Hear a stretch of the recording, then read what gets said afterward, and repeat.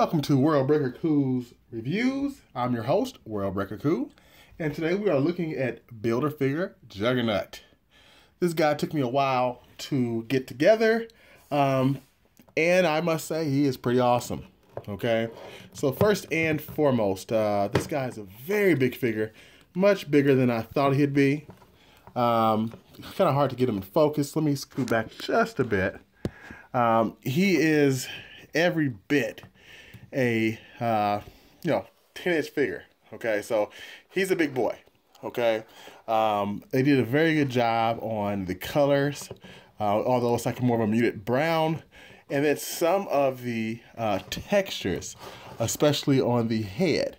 So if you look at the head here, very nice, um, very nice textures on the arms, wrist, fist, um, and then his belt. I mean, that's that's pretty cool. You know, um, very nice figure overall. And as you see in the background, um, I have some uh, Juggernaut comics.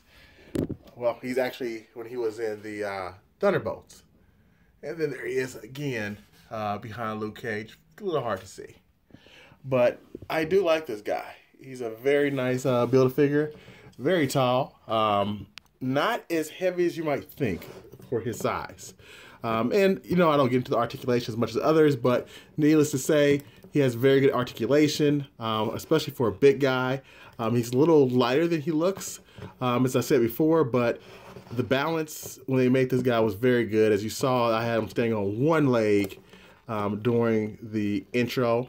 I mean, look at that. That's not very, you're not going to really do that too often you know, and I can't, of course, I'm having a little more trouble doing it now, but that's because we're camera. So look at that smile. Isn't that gorgeous? So, um, what do I think about this guy? Is he worth collecting and putting together? If you don't have the Marvel Select one, he could definitely be worth it. Um, if you have the Marvel Select one, he may not be worth the cost of putting them together. because um, he is going to run anywhere on eBay to around 70 to you know 45 dollars um, that's just kind of high and low from what i've seen. Um, just some size comparisons here.